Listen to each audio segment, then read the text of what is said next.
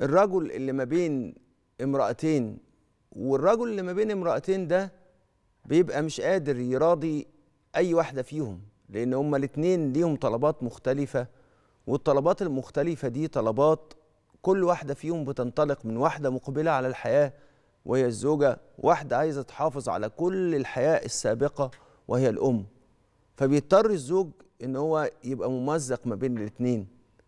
الحل في الحقيقة شوية إجراءات هنتكلم عنها بس قبل الإجراءات دي لازم نقول حاجة مهمة قوي بلاش الزوج دايما يقول للزوجة اتعاملي مع. مع مع حماتك كأنها أمك لأن في بعض الأحيان بتبقى الأم موجودة وبتعتبر دوت إن هو بيطالبها بإن هي تتخلى عن أمومتها أمومة أمها وتدي الأمومة دي لح... لحماتها أنا ليه بقول كده؟ لأن إحنا وشغالين في الإرشاد الزواجي بيبقى الكلام دوت بيخلي الزوجة تحس بإن الزوج عايز يقتلعها من أسرتها.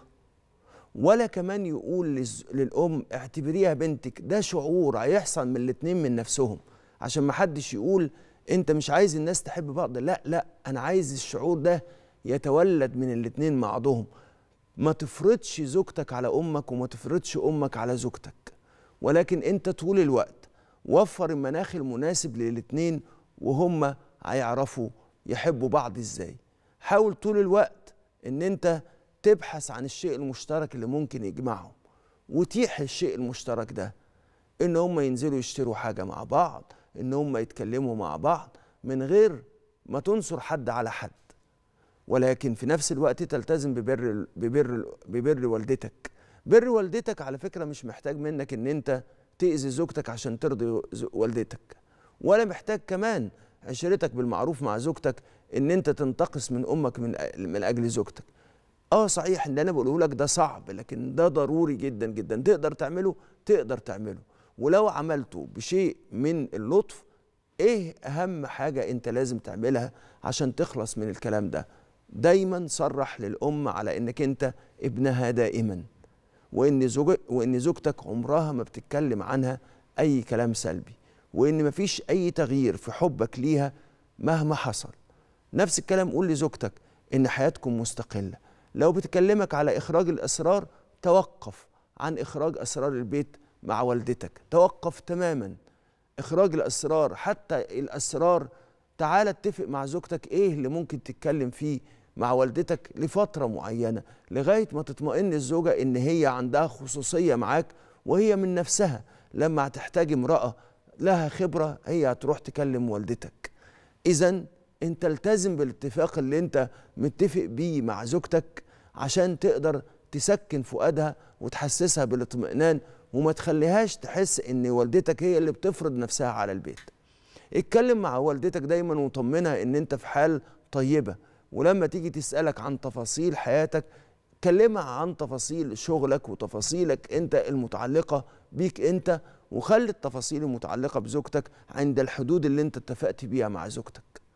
الأمهات في الحقيقة ما بيبقوش محتاجين إن هم يتدخلوا إلا إذا أحسوا بالخطر على ابنهم. طول ما انت محسس والدتك إن انت مفيش صراع بينك وبين زوجتك مفيش أي شيء بيستدعي قوات أجنبية زي تدخل أمك يبقى هي مش هتبقى محتاجة إن هي تتدخل. دايما طمنها هي لما هتحس إن أنت زوجتك بتعيش معاك في راحة وهي كمان مريحاك هي كمان هتكون حاسة إن زوجتك دي شخص جيد دخل إلى البيت ده. يبقى هذا شيء مهم. يبقى كمان زي ما قلنا قبل الفاصل نعمل كمان منطقة عازلة. إيه المنطقة العازلة دي؟ مفيش تدخل من شؤون في شؤون آه البيت من والدتك كمان مفيش تدخل من زوجتك في شؤون أسرتك. لازم المنطقة دي تكون واضحة. لازم كمان نعالج أي فساد في العلاقة بحوار بينك وبين زوجتك والحوار دوت يكون حوار واضح وبينكم إرادة للتواصل في الحوار. وكمان زي ما قلنا دايما الحوار بيبقى بالثلاث مفاهيم اللي هو الفهم والتفهم وكمان التفاهم. كل ده وكمان لازم نكون مأكدين إن الكلام الحلو مهم قوي قوي قوي عشان تليين العلاقة. الكلام الحلو اللي بتوصله لأمك عن زوجتك والكلام الحلو اللي بتوصله لزوجتك عن أمك والكلام الحلو اللي الاتنين مطلقا بيسكن الناس ويخليهم في حالة طيبة.